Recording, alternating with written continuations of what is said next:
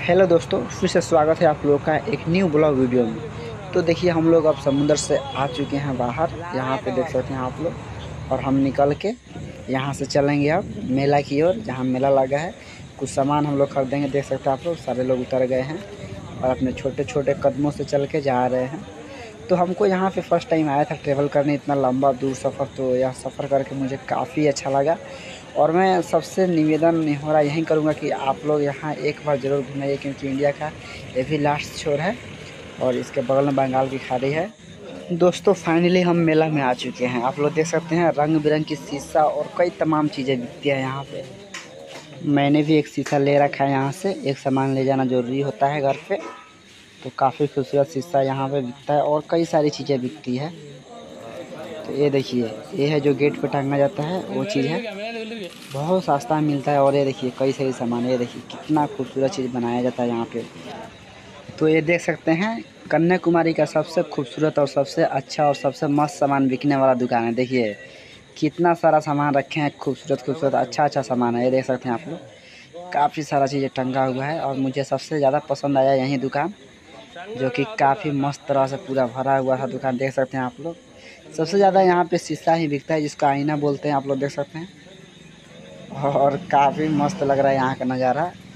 तो आप लोग एक बार आइए तो ये सब दुकानों में विज़िट कीजिए। और पैसे तो उतना नहीं लगता, बहुत कम कम रुपए में सब सारी सामान आपको मिल जाएगी। और बिल्कुल मज़ा से इंजॉय कीजिएगा और पूरा फुल मस्ती लीजिए।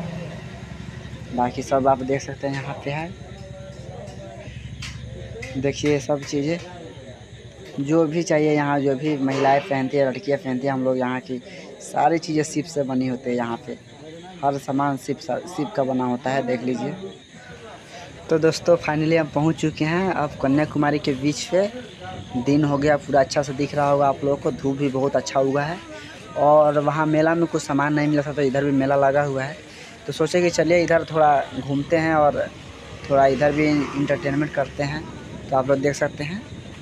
काफ़ी खूबसूरत नज़ारा है। सारे लोग बैठ के इंजॉय कर रहे हैं, मज़े ले रहे हैं। और हम लोग का ट्रेन एक बजे से है तो अभी बहुत टाइम है एक बजने में, इसलिए थोड़ा इधर टाइम पास करने आ गए हैं। ये देखिए, यहाँ का नज़ारा काफ़ी खूबसूरत लगता है, देख सकते हैं आप लोग। और थोड़ा समुद्र का जो लहर है, वो अभी काफ़ी तेज़ हो चुका है पीछे। तो मुझे आशा है कि आप लोगों को यह वीडियो काफ़ी अच्छा लग रहा होगा। तो आप लोग सब्सक्राइब नहीं करते हैं, ना शेयर करते हैं। तो आप लोगों से रिक्वेस्ट है कि मेरे चैनल को सब्सक्राइब कीजिए तो शेयर कीजिए और जो भी गलतियाँ होती है, इसमें आप लोग कमेंट करके ज़रूर बताइए। तो दोस्तों, अब बता दें कि फाइनली मेरा टाइम हो चुका है ट्रेन का। यहाँ से स्टेशन कन्याकुमारी बहुत पास में ही है, एक से डेढ़ किलोमीटर पड़ेगा। तो हम अब निकल रहे हैं रूम पे अपने, जहाँ हम लोग अब काम करेंगे। अब चलते हैं। बहुत घुमाई हुआ फिर से नेक्स्ट वीडियो में आप लोगों से मुलाकात होगा। Love you welcome bye